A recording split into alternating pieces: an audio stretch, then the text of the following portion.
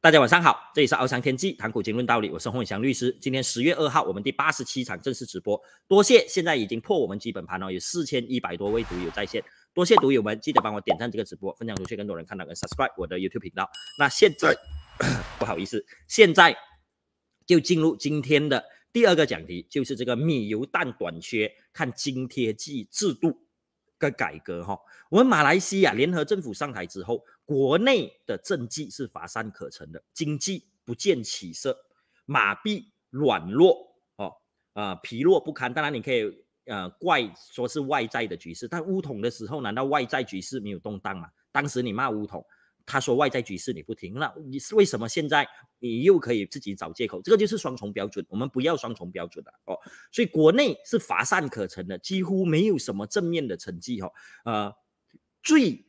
国内这个政府执掌以来，最令人感到不应当的是马来西亚这个天府之国，从年头到现在都一直面对这个生活必需品、生活必需食品短缺的这种情况困扰。一月到三四月是鸡蛋荒，哦，是鸡蛋荒，但是我们有讲题讲解过了。后来是油，哦，食用油买不到，大起价，哦，然后现在是米。这种情况在马来西亚是很丢脸、很丢脸的哈，因为我们马来西亚是国际贸易的中枢站，哦，所以你航运，因为货物的买卖、国际贸易基本上都还是用航运的，其除非是一些很贵的东西、很紧急的东西才会运空运哦，因为空运它的成本太高了，所以我们穿的衣服、我们吃的东西。这些基本上大多数都是用海运的。马来西亚包括新加坡，新加坡以前是马来西亚的一部分嘛，就在陆水陆交通的中间哦。你要从呃亚洲，从中国、俄罗斯运到这个欧洲、美洲，或者是从那边运过来，或者是从印度运过来，我们都在这个中间点，这是第一点。所以马来西亚要面对这种物资短缺的情况，除非我们很穷，你有钱买。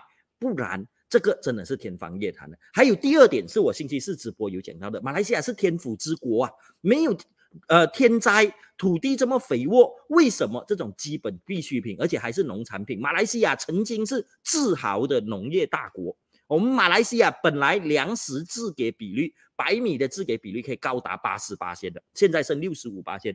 那为什么我们这样子的国家，竟然会面对这些？生活必须的食品短缺的冲击，哦，这个是一个很大很大的问题，好，那我们上个星期四的讲题，第二个讲题就有讲到阿妈该骂我骂得很凶，我去见乌统的，他邀请我去喝茶，乌统的州议员之前，我在骂乌统另外一个州议员，他行政议员的课题，但是会影响我跟他见面吗？不会。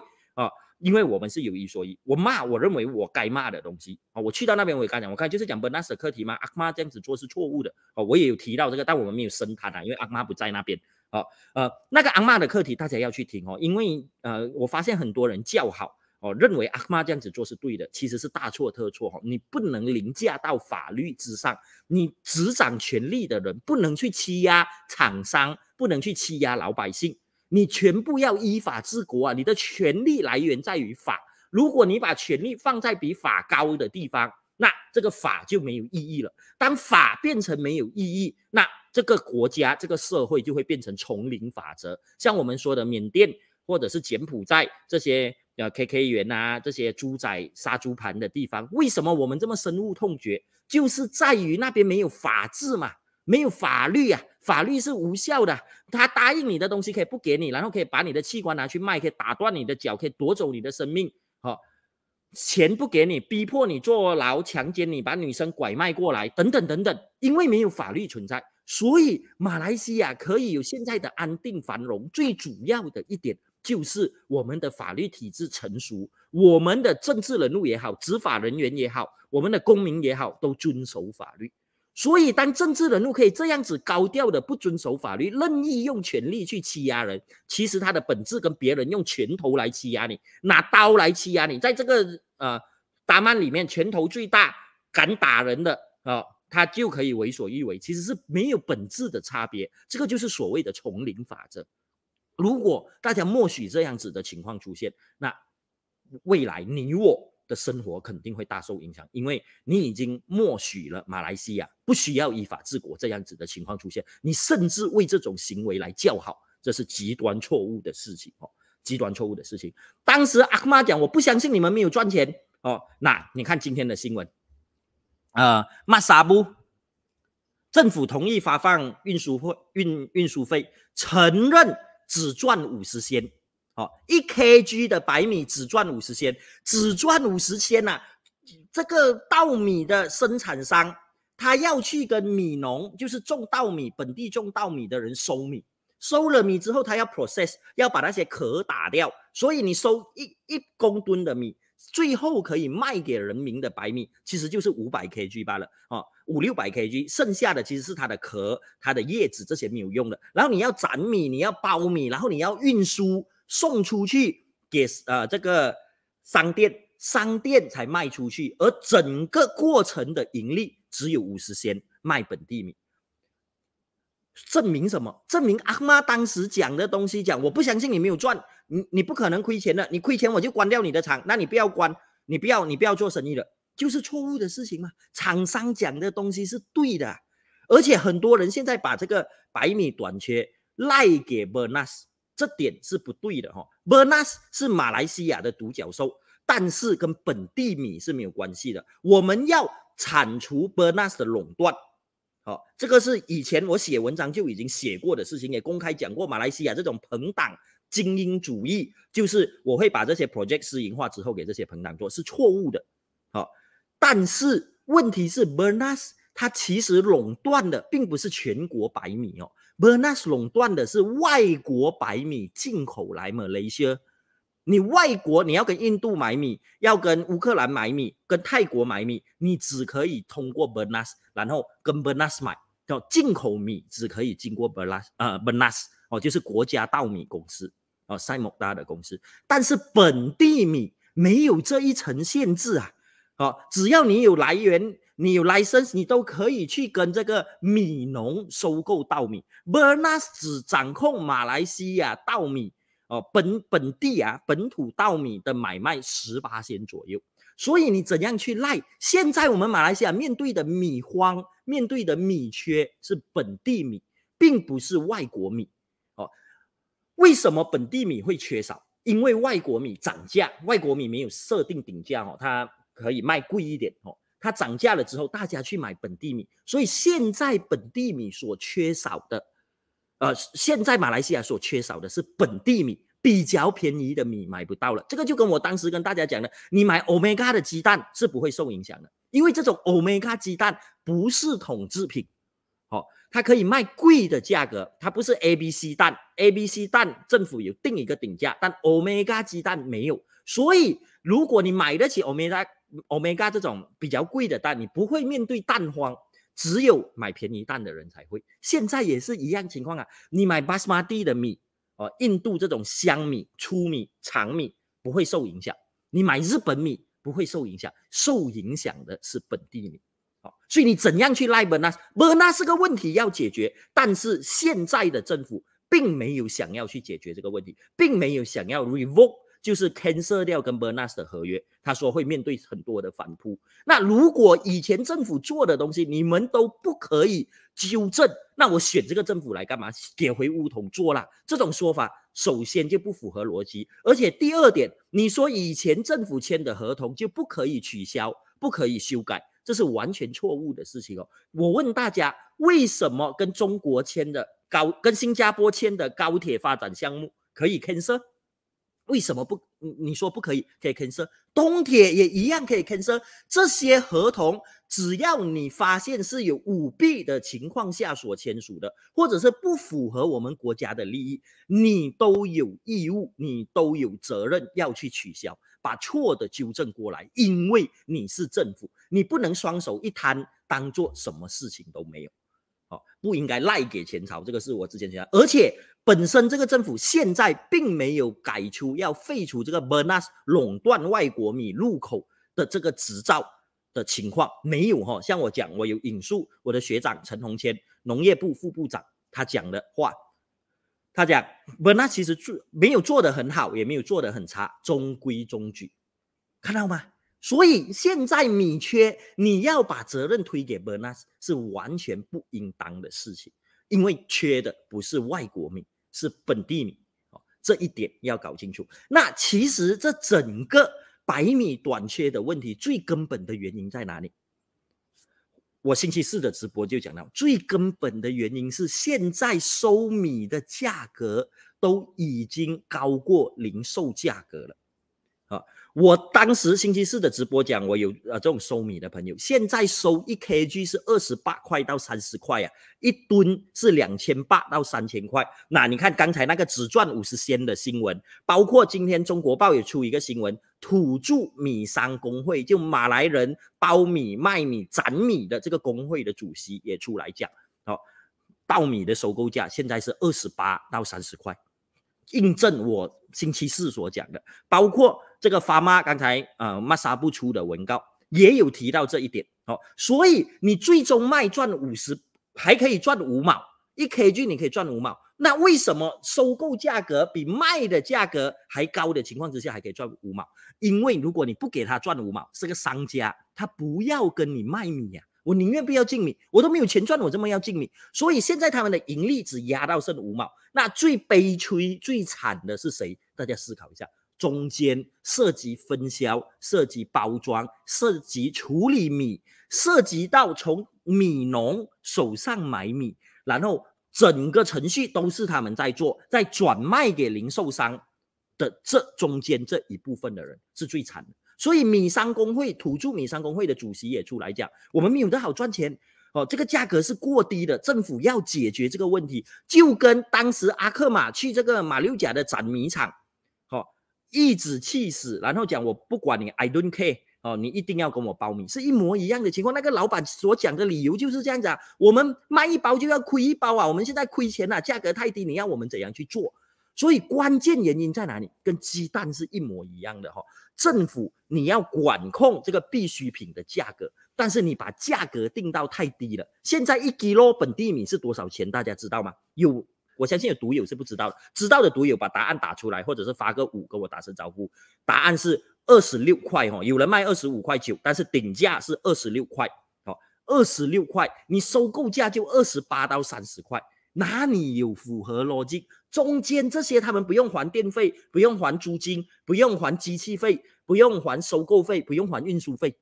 好，所以跟鸡蛋当时所面对的困境是一模一样的，就是政府把统治的价格定到太低了。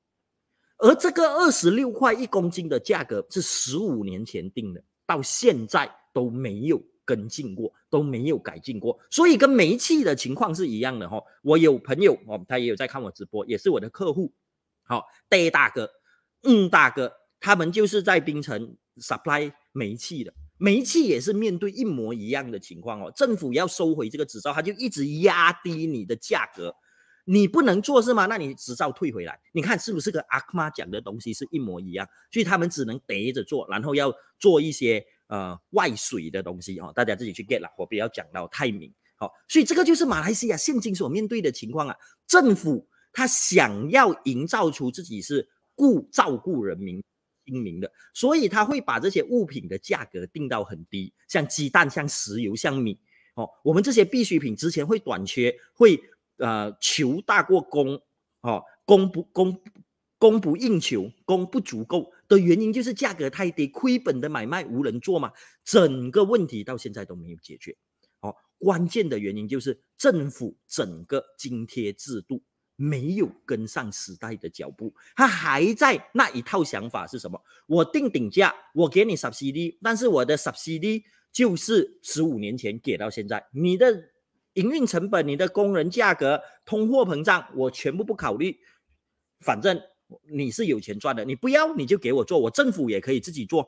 我们现在政府的想法就是这样子吧，我们可以成立一个政府机构来接接手。像之前机票起价，大家还记得吗？沙老越政府讲我们要自己开啊这个航空公司，其实想法就是一样的。你们不要做是不是？我来做，但是这个由政府来做是更为后退的情况啊，因为政府是用你我人民的血汗钱，他没有绩效。亏钱又不是亏他的钱，他不会痛，所以在这样子的情况之下，效益是很低落的。所以很多关联公司，尤其这种独家啊拿到牌照的，像马航这样子哦，都面对巨额的亏损哦。这个是往回走，这个是一个往后退的情况啊。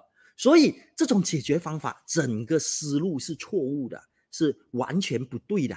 真正要做就是改革改革津贴制度。已经政府已经执政一年，接近一年了。第二个预算案下个礼拜就会开始提成辩论了，好，大概要两一个月半到两个月的时间，新的预算案会通过。但是政府一年了，是不是就跟我年头跟大家讲的，经改革津贴制度是我们马来西亚现在必须要做到的事情，而且是刻不容缓要做。你看，首相今天才讲，我们已经国债一亿五千万了。二零一八年西蒙上台的时候，才刚刚呃一兆五千亿，才刚刚破一兆啊！短短五六年的时间就已经一兆五千亿了，有五六个政府经手哦，从老马、沙比里、呃穆尤丁、沙比里，到现在安华四个政府经手，我们的国债就升了五十八千。我，你政府还要这样子去补贴人民，其实是完全。不能够再 sustainable，不能够再持续下去的一个情况，但是没有人敢去动，就像公务员体系是一样的情况。现在你连抨击公务员体系都不可以，在这个津贴制度上也是一样，想要改革津贴制度，推了又推，推了又推。好，呃，年头的时候讲五六月，五六月之后就当什么事情都没有发生，因为六周周选。然后现在讲预算案之后，预计明年一月会开始推行。好，所以这些就是政府不作为所造成的问题呀。那这个津贴制度，我自己我有讲的嘛，像石油啊，我们打汽车的油，像我驾欧洲车，我驾路口车，然后我的薪水是 T 二十，可是我打的油价跟我的工人薪水两千块的秘书是一模一样的哈，我们享受一样的津贴，这个津贴制度本身是错误的，可是。没有人敢要去改。上一次要修改这个津贴制度的人，大家还记得是谁吗？阿卜杜拉·巴达维。结果掀起了三零八大海啸。在那之后，就没有人敢再碰这个津贴制度了。好，现在政府拖了又拖，我们希望他会做。可是，在我看来，前景还是很暗淡的。有好几位读友是这方面的专家，有跟我探讨过哈。啊，政府再不做，我们马来西亚就完蛋了。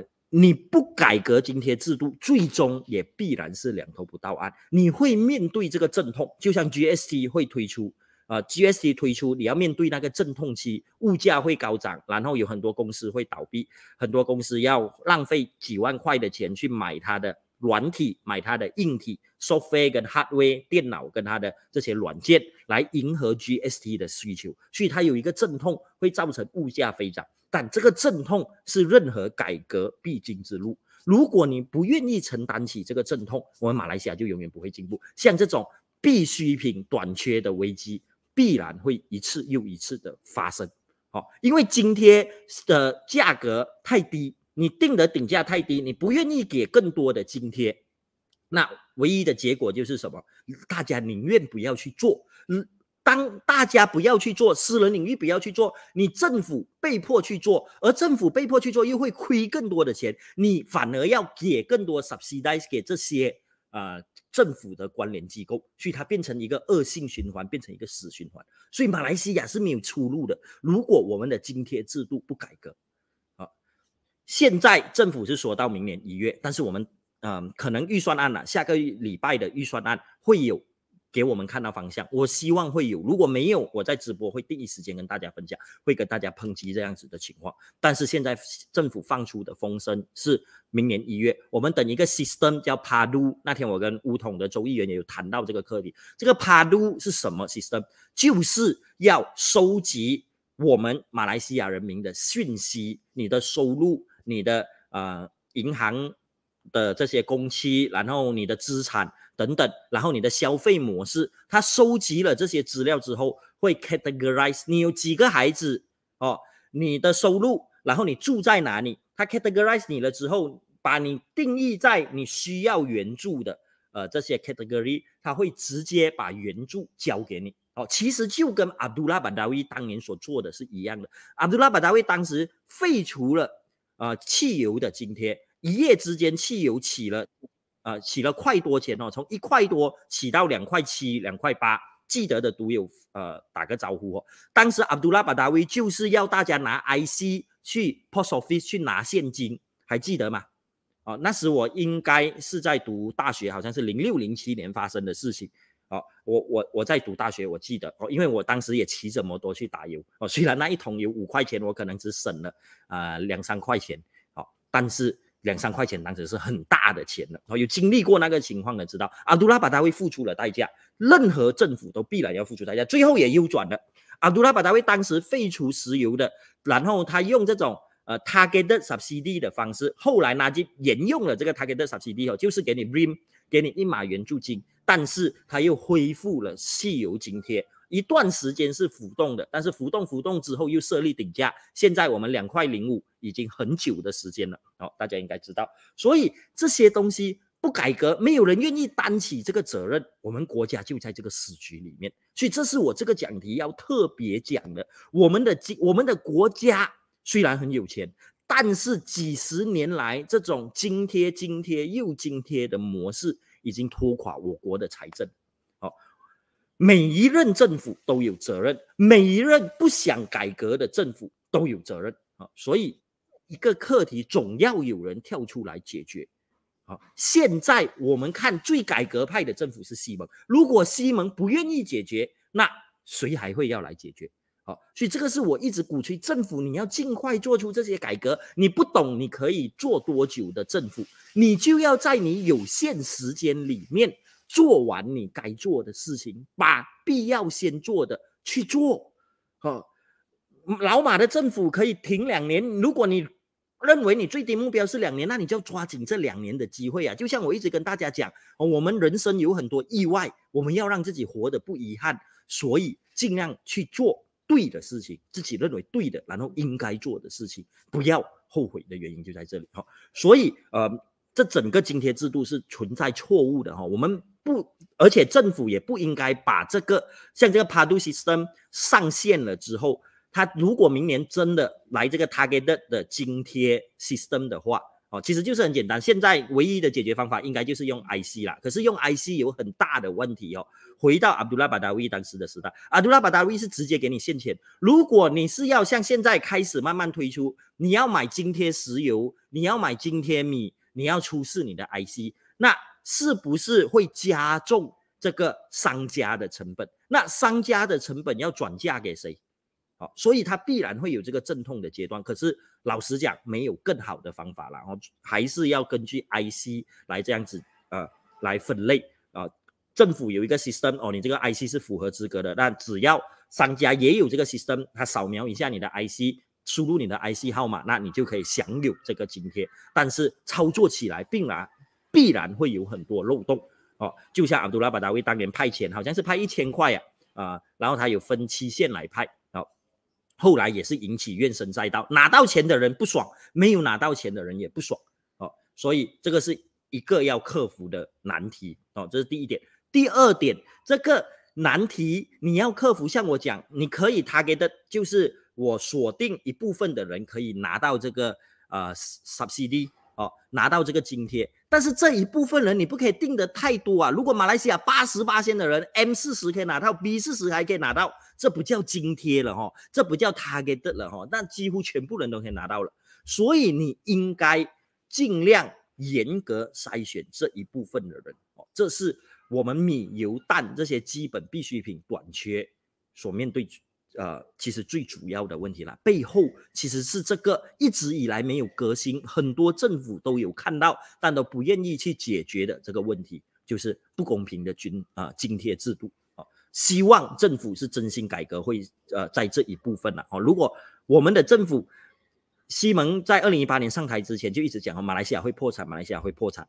我们马来西亚要破产，短时间应该五年十年还不会到了哦。但是我们再继续这样子烂花。下去啊，马来西亚破产之路，应该我们是看得到了，没有到触手可及的地步，但是可以看到这个破产已经迫在眉睫了。哦，所以不要不要开玩笑哦。呃，包括嗯，这个津贴制度其实它延伸出来的就是公务员的课题。好，也是没有政府要去动。凯里也公开讲，他支持这个废除哦，或者是检讨这个公务员的退休金制度，包括国会议员的退休金制度。行动党摆明立场，我们呃郭树清出来讲了哈，我我我们没有要求要废除国会议员的这个津贴，我反对哦。简单来讲就是我反对哦，这一个津贴制度不应该废除哦，这个退休金的制度不应该废除。我把我的立场摆清楚，不管是公务员还是州议员还是国会议员，都应该要有给他退休金。可是他的退休金模式不可以是现在的模式，就是只要政府只要你是政治相关的，政府一道指令下去，那你就可以享有你的退休金，几乎到呃整百年的。期限我之前有算给大家看过嘛？你五十五岁退休，你九十岁，如果你可以活到九十岁，你娶一个老婆，再生一个孩子，那你的孩子可以继续享有这个退休金。这种模式是错误的，要改革，尤其是政治相关委任的这个退休金制度必须改革。但是这个是碰到很多国会议员的蛋糕，国会议员的糖果是他们的切身利益，所以这个改革要推行起来。非常非常的困难，但这也是必须要改革的。凯里都讲嘛，给退休金每年都要给几百亿，几百亿呀，这个是多么大的数目啊！我们马来西亚每年的财政预算案三千多亿，其中两百多亿，七十八线的钱就是拿来行政拨款，其实一大部分就是给薪水，就是给退休金，哦，剩余的是给租金，maintain 你的 building。哦，这个是畸形的一个情况，畸形的一个制度，这个是 unsustainable 的，这点我们一定要改革哦。但是改革派政府没有去做，这个才是最令人感到生气的地方。我们要呼吁改革派政府去做啊，因为你不做，马来西亚就没有人会做，这也是我们支持你的原因。所以不要姑息改革派政府不改革。好，我直接讲，二零一八年老马的政府不好，做的不好。但是你放在现在跟二零二三年的政府，当时的老马政府更有改革意愿。当时的老马政府给了行动党六个部长，现在给四个而已。行动党是里面最改革的，可是现在的行动党连改革的话都不敢讲了哈，这个是最令人揪心的。拜托，去敲醒他们，去给他知道，你去敲醒他，你去给他知道正确的路是什么，你不是害他。你是爱他，你是帮他，这一点是最重要的哈啊，所以，嗯，这这一点我讲过很多次了啦，我就不要重复了。我希望大家谨记这一点。所以，这整个我们一整年都遭受这些必需品短缺的迫害哦。其实底下阶层感受到的是更深刻。哦，像我讲，你买欧米伽的蛋，你买巴斯巴蒂米是，或者是买糙米是不会受到影响可是。我们不能因为针没有扎到我们，我们就不当一回事哦！更公平、更好的马来西亚是需要你我一起所努力的哦！不要默许，不要默认这种不公平的情况出现，这是最重要的啊！好，第二个讲题我就讲到这里，休息一下啊。